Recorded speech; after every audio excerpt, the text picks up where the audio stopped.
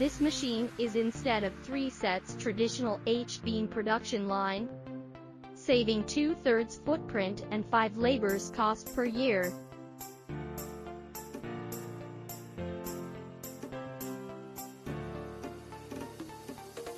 Many friends in steel structure industry believe this machine is worth recommending.